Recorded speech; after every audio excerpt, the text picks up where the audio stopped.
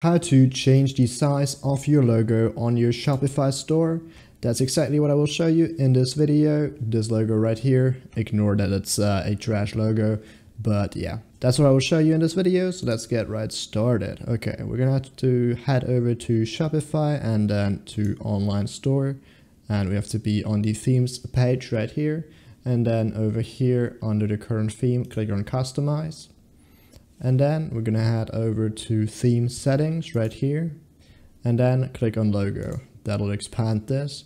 Here you can edit your logo. I've already uploaded one, so here we go. And then desktop logo width. Here you can change the size and uh, it's in pixels. So yeah, as you can see, this will actually change the uh, size of the entire header, which makes sense. The logo has to fit into the header, so let's and not make it too big because otherwise it'll look a bit uh, strange with uh, such a big header. So yeah, I wouldn't necessarily recommend going much higher than 100 pixels.